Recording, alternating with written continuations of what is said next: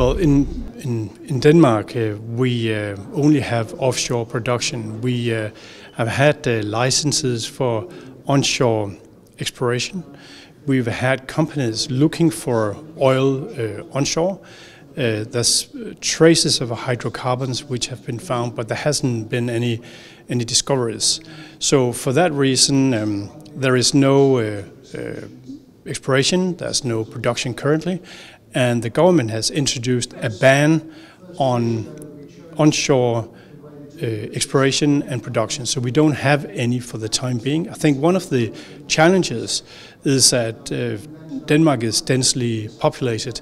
So if we should have had any production, uh, it would be would have been quite difficult because of um, of the um, the population.